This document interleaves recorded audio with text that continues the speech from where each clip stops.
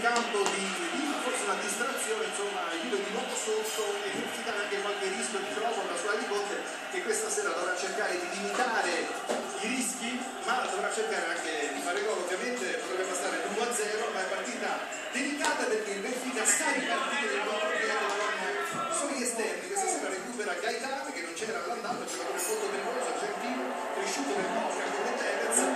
Com'è forte! Dove ci andiamo? no?